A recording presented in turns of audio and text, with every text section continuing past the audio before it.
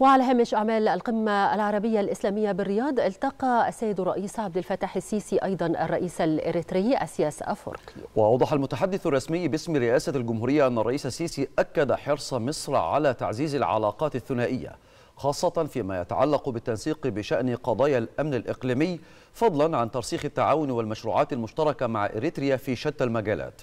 مضيفا أن اللقاء تطرق إلى التباحث حول آخر التطورات الإقليمية ذات الاهتمام المتبادل.